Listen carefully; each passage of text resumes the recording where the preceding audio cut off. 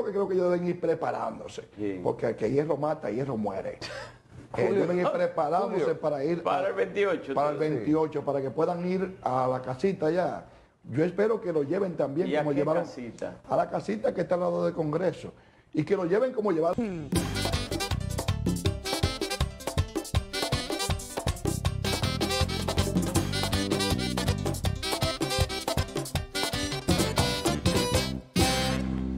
Carlos San Juan, buenas tardes, República Dominicana. Mira, vamos a arrancar de todos los jueves con un TBT.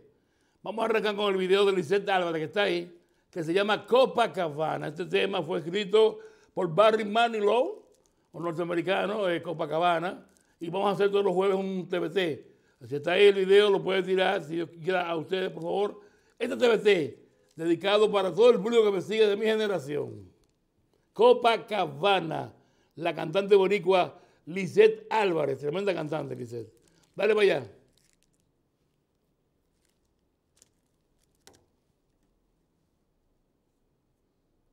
Voy a mandar el video temprano, gente que lo mandó todo. No entiendo, ¿no? Pero bueno, el video, señores, que yo mandé de Lisette Álvarez Agency, que lo mandó temprano, está ahí, póngamelo por favor, para no quedar en ridículo en un programa en vivo. Si no, mejor yo lo grabo.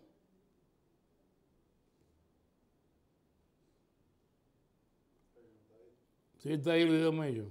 Miren, vámonos con una foto que yo mandé de la doctora Ana María Polo, que ya está retirada. O sea, los casos que ustedes ven cerrados, eso es viejísimo.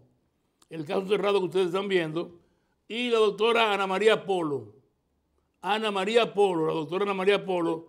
Señores, hoy está, miren cómo está ella hoy en día, retirada, porque todo pasa, ¿eh? Y lo miren ahí, ahí está la doctora Ana María Polo, señores, como pasa el tiempo, medio, ¿eh? Ahí está ya una mujer en su casa, hecha y derecha. Creo que vive en Perú, Ana María Polo, no sé si en, en Ecuador en Perú.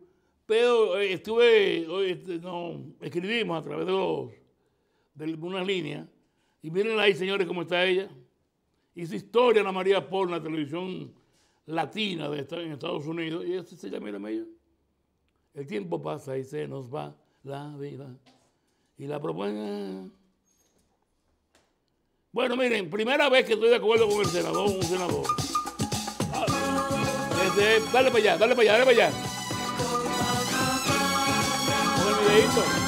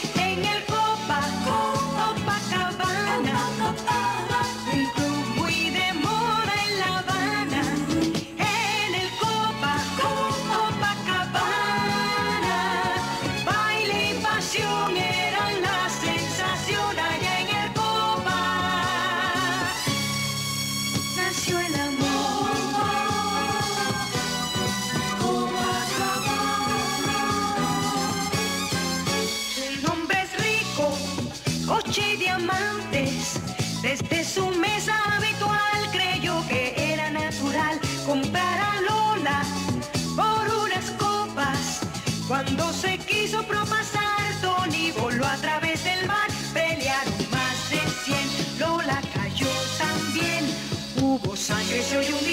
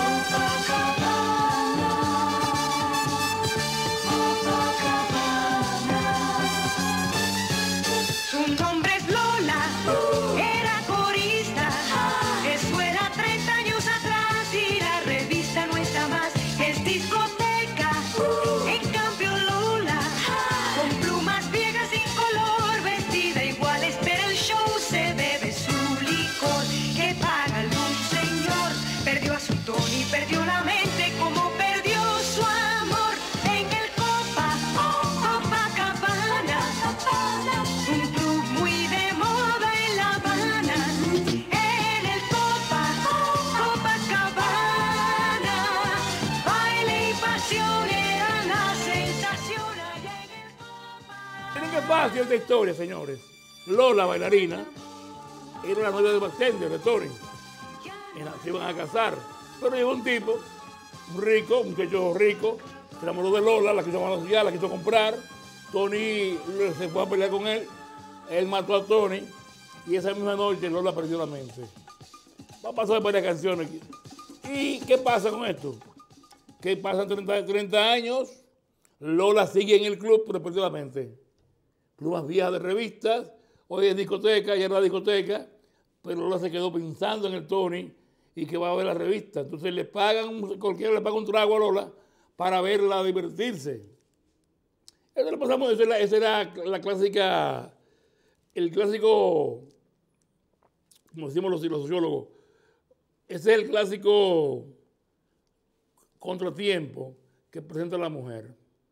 Inclusive Johnny Ventura grabó un tema que se llama Gritos y, Sufrimientos o Lamentos. Dice que la mujer de 15 a 20 le gusta cualquier tipo de hombre. De 20 a 30 le gustan las experiencias. Pero de 30 a 40 la luz roja, la vez ella viene. Otra vez quieren recordar el pasado, pero no puede. Pero miren, algo que me gusta, me gusta, me gusta. Al fin se hizo justicia en República Dominicana. Al fin dejamos de ser tan lambones, chupamedias, botafumeiros, de una cultura española que nos, nos- nos- trajo fue desgracia, hambre y todas las vainas que estamos pasando hoy en día. Se lo debemos a que nos descubrió el país más bruto de Europa, España. Y al descubrir el país más bruto de Europa, España, se nos trajeron, trajeron con ellos toda la brutalidad y toda la estupidez de los españoles de esa época aquí. ¿quién fue? Déjame ver. ¿Dónde está? ¿Dónde está? ¿Dónde está? Caramba. Miren, un senador a- acaba de, se a poner en la primera lectura el proyecto de cambio el nombre de Nicolás de Obando por Johnny Ventura. Pero bien, ¿eh? Ah, Cristóbal Castillo de Mayor, Cristóbal Castillo. Señores, Nicolás de Obando fue un ladrón, un asesino en serie. Nicolás de Obando fue un delincuente, un asaltante, violador de mujeres. Y en este país, la cultura chupamedia, rastrera que tenemos los dominicanos, de alabar a, los delincuentes, al fin se hizo justicia. Y se le puso, se le dio un homenaje bien bueno, quitándole este nombre a una de las calles principales de la capital, Nicolás de Obando, un, una- un asqueroso asesino, que la historia de aquí, los, escritores de aquí, deben de ponerlo en la historia como un asesino en serie, que tiene que estar en el infierno quemándose los huesos todavía. Nicolás de Obando, asesino. Pero bueno, qué bueno, pero bueno, qué bueno, plenasmo ahí, que este senador, Cristóbal Castillo, pues puso el nombre de Ventura. Sabrosura, ahora sí, se hizo justicia ahí, coño, qué bueno, ¿eh? Me gusta eso, señores. Me siento, ¿qué más? Voy a, traer a, a- a caer atrás para felicitarle a este señor. Señora, miren, se gastaron millones de pesos y se llevaron todos los diputados electos para un resort. Le dieron comida, muchos pusieron malos allá cuando habían ido. Y se vomitaron, se fueron directo con las páginas amarillas aquellas. Eso fue un, des- un desastre ahí. Porque muchos nunca habían ido a un resort. De que lo llevaron a enseñarle cómo es la Cámara de Diputados, cómo se maneja el actor. Pero le faltó lo importante a ellos, a lo que lo llevaron. Adivinen qué. A dar la declaración jurada de bienes primero, papá. Primero enseñarle a esa gente cómo se da la declaración de bienes jurada y luego ya. Coño, pero qué ladrón y qué ladrón somos en este país, ¿eh? Cada que pasa, yo me convenzo de que este país debe coger fuego por las cuatro esquinas, como dijo Peña Gómez. No quieren coger de pendejo a los dominicanos, ¿eh? Y que quede claro, ¿eh? Que dominicano fue igual que le puso ese nombre a este país para diferenciarnos de los haitianos. Señores, David Collado, él cree que él le va a pasar el nini, un nini, un nini. David Collado cree que él va a sentarse bajo la mata de mango, se va a sentar ahí, va a poner la mano y los mangos le van a caer uno a uno. No te vayas a sudar la berenjena, a ver si tú vas a llegar. El PRM y el PRD es lo mismo. Ahí es que no tiene estructura y que no tiene gente, no va para ningún sitio. Señores, y ese señor a mí no me da confianza por ningún lado. Porque eh, Bobadilla, Bo- el Boba, lo imita y él le mandó una intimación. Si eso es porque, lo, imagínate, el Lobo imita a Dino Medina, el Lobo imita a un de gente, a Leonel, y ninguno le han dado una intimación. Y David Collado, sí. Óigame bien, si eso es ahora, imagínense en el poder, es un tipo prepotente y engreído, ¿eh? Ese odio de los pobres, después no se quejen, y todo el chupa medio, ¡ay, que David Collado! ¿Usted conoce a David Collado? ¿Cuándo ha visto a David Collado sin fuego? ¿Cuándo ha visto a David Collado en Gurabo, en Pueblo Nuevo, en Tres Papatín? Nunca. Deben de dar chupa medio, David Collado. Deben de lambones, de chupatuerca. Deben de estar de lavaplato. Por eso que el dominicano coño, no progresa en este país. Por estar de chupa media, lavaplato.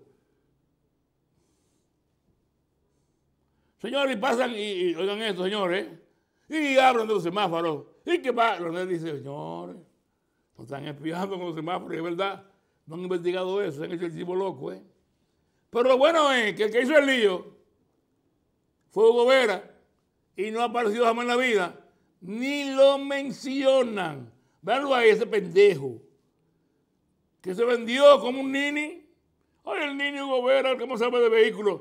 Hay que encuerarlo, señores.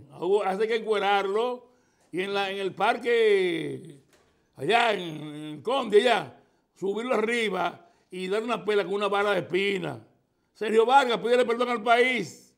Que tú dijiste que los ricos no robaban, son más, que los ricos no hacen nada. Mira ahí, todos los líos los ricos. Mira todos los líos, ¿eh? Y este pendejo, porque así que decirle, pendejo. Mire, coño, el hombre llora. Se aguanta como los machos. Y este señor, Hugo Veras, ha hecho de vagabundería con esa vaina ahí. Y ahora aparece, pues de la cara. Tú no tienes pantalón, tú no tienes bragueta ahí. Tú, tú, tienes abajo dos ramilletes. Da la cara, coño. Pendejo. Da la cara. Da la cara, Hugo Veras, da la cara. Que tú hiciste el lío, los semáforos. Da la cara. Ay, lo esconden. Porque en este gobierno cuando roban lo esconden, lo enferman o lo esconden en este gobierno. Señores, miren, se están haciendo muchas obras en el país. Obras suntuosas que no, resuelven nada. El, ayer hablé de los carriles. Un amigo mío me dijo a mí que estaba para la capital, me dijo, oiga esto, me dijo que duró más tiempo ahora que antes, porque antes más rápido. Señores, el problema aquí se puede hacer 516 carriles para entrar a la capital. Es que no hay educación en la población. No hay, somos un pueblo salvaje, somos un pueblo todavía con taparrabos. La diferencia de nosotros los haitianos es el color y el vudú. Pero después somos todos iguales. La diferencia con nosotros los haitianos es el color, el vudú y el grajo, pero después somos todos iguales, pensamos somos salvajes igualitos. Lo criticamos los haitianos, pero somos igualitos. Usted le olvida que a Lucrecia, una dominicana, que se bajaban a beber romo en España, en, Aravaca, España. La mataron porque los españoles no aguantaban al dominicano. Pero los dominicanos somos tan desgraciados que en España hay una banda de delincuentes que quieren que Don Play, que qué cosa, eh, los trinitarios. En Estados Unidos, señores, da pena como están los chamaquitos jovencitos de, de descendencia dominicana metidos a delincuentes con las bandas. Ah, pero eso no lo vemos, ¿verdad que no? No, eso no lo vemos. Señores, prepárense. Ay, papá, búscame la ambulancia, Mello, Silvio. Ay, prepárense que ya comenzaron a presto para recolectar firmas porque Gurabo quiere ser municipio. Gurabo, Gurabo quiere ser municipio en Santiago. Tienen todo para ser municipio bancos, hoteles, van a un hotel ahora. ¿Tienen, sí, tienen un hotel, porque los hoteles les toca a ellos. no, no, no. Pero después tienen todo para ser municipio. Gurabo. Y me dicen, a mí no me crean, que uno, yo sé, hay como seis que pueden ser alcalde de Gurabo. Gregorio Domínguez es el que tiene más fuerza para lograr la alcaldía de Gurabo. Gregorio Domínguez es el que tiene más fuerza para lograr la alcaldía de Gurabo. Pero, señora, ahí no es todo, ¿eh? Ahí no es todo. Oigan lo otro. Ha surgido un movimiento para también la zona sur medio declararse municipio. ¿Quién le cae a Santiago? Pueblo Nuevo, el centro histórico. O sea que el alcalde que tenga Santiago para el próximo 28 será un alcalde eh, turístico. Señores, jurado municipio, ¿eh? han hecho muchas reuniones, curas, eh, eh, evangélicos, y dicen que lo van a lograr convertir a Gurabo en municipio. No, no me hacen eso, pero si lo hacen yo tengo que apoyarlo. Si lo logran, no tengo que ver con yo no Gurabo. Pero si lo hacen, lo hacen. y. Gurabo municipio, lo dije hoy, ¿eh? Se lo dije hoy. Miren, señores. Ay, Luis, Luis Abinader, nómbrame eh, eh, teniente de inmigración, su jefe de inmigración, por un año, por favor. Presidente Luis Abinader, Corona, de rodillas te pido que me nombres inmigración por seis meses, un año, un año nada más. Un año, nómbrame inmigración de Santiago, Luis, por favor, Luis. Señores, es robando que están atracando a los haitianos de manos. Sacar a los haitianos allá cuesta 14 mil pesos. En la calle hay 3 mil si la agarran ahí para quitárselo. Es una mafia lo que hay en migración de Santiago. Aquí, ¿eh? Yo quisiera que el director de migración, si es que tiene pantalones, pantaloncillos, que yo lo dudo, venga por aquí y me, demuestre lo contrario. Es un gran negociazo que tiene migración. Hay que ponerle ladrones de, deportando gente, porque hay, hay, hay una, un grupo de ladrones, de estafadores, aprovechándose de infelices, el Chadías. 14 mil pesos para un amigo mío para sacar haitiano. Y lo grabó. Es lo bueno. Por eso tengo el video para agarrarlo que venga aquí, para agarrarlo mancito. Y otro hacen en la cara. Migración en Santiago es una vaina de ladrones. No todos, ¿eh? Pero la gran mayoría son unos malditos delincuentes lo que hay en migración. Delincuentes, coño, delincuentes, ladrones. Aprovechándose de los, los pobres haitianos. Hermano, deporte y sale de eso, pero no, no haga eso.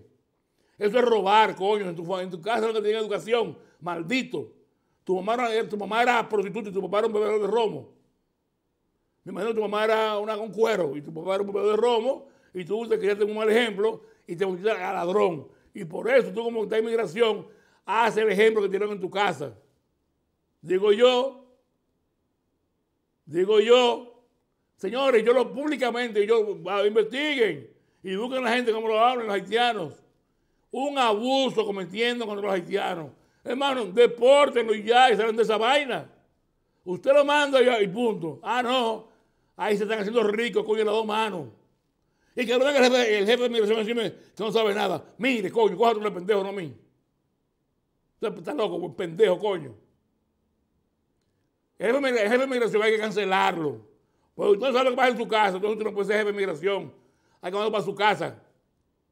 Si yo no sé en mi casa lo que pasa en mi casa, debo, debo, debo, debo de dar a la mujer que mande. Robos, ladrones, inmigración. Eso es un robo que hay público en migración. Ro ladronazo, coño, no todo. Hay mucha gente seria.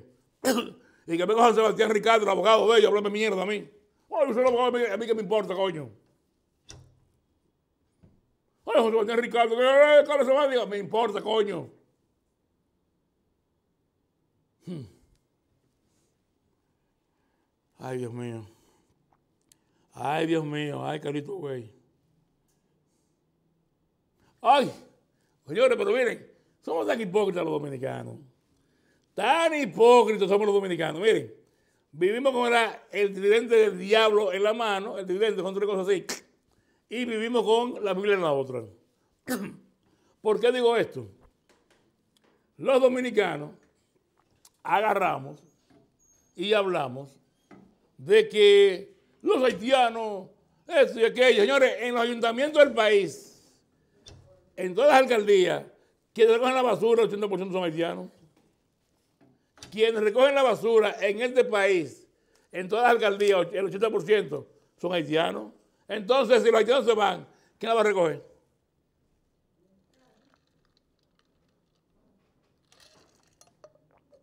80% de las alcaldías del país, la basura en los camiones la recogen los haitianos.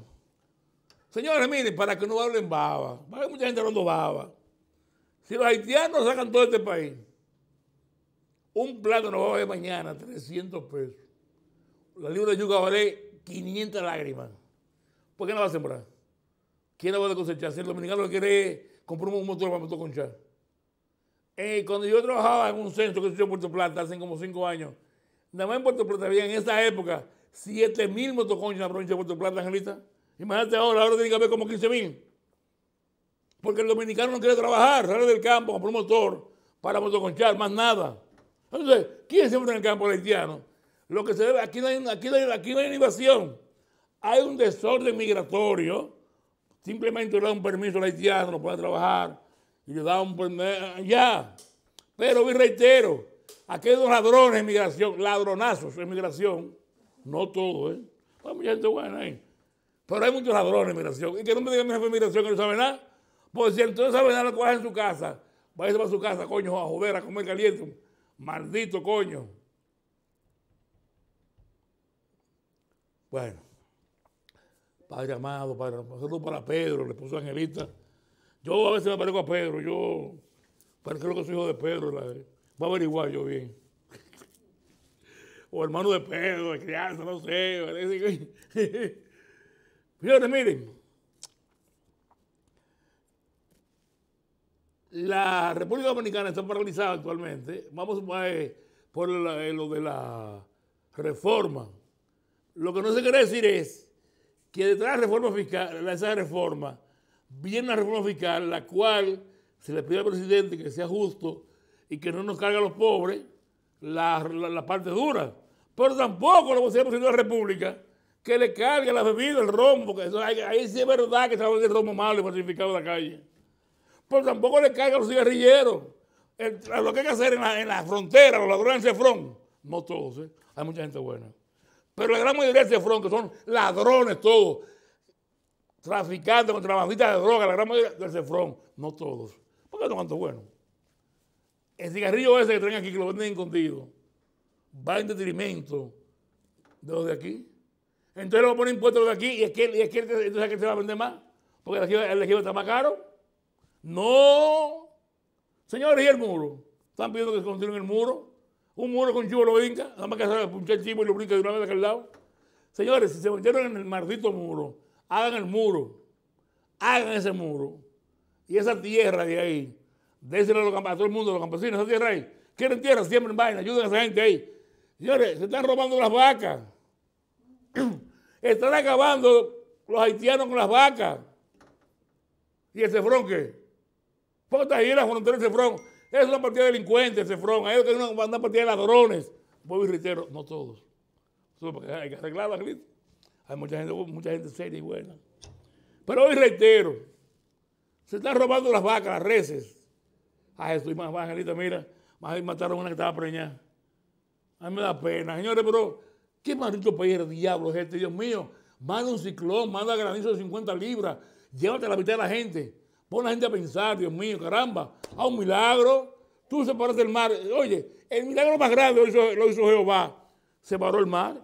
Eso es lo más grande, que- eso es lo más grande en la historia. y así, el pueblo de Jehová no creía en Jehová. Señores, separar el mar, salvarlo de Egipto. Pasaron y después se pusieron de, vagabundo. Aarón, un Dios que hizo falso y una vaina. Señores, cuando uno se pone a ver los milagros que ha hecho Dios en el mundo, se queda así, mira, de rodillas en el piso. De rodillas cuando uno habla de Dios.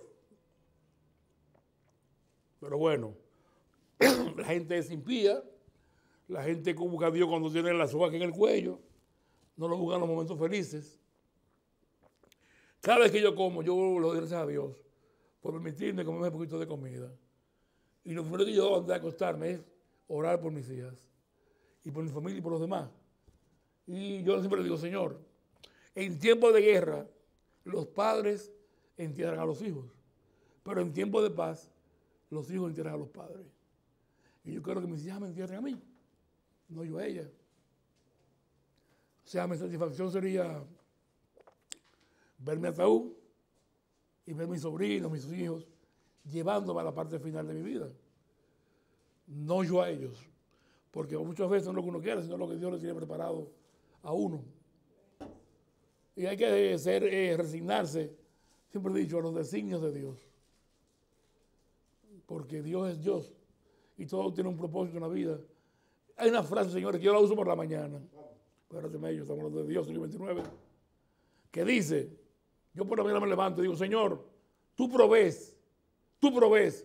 Y a ratico digo, Angelito, mira, me provee. Yo soy Carlos de San Juan. Tampoco soy un fanático religioso, yo declaro, pero creo en Dios. Carlos de San Juan, le lloré a mi madre en la barriga, me llaman el lobo solitario.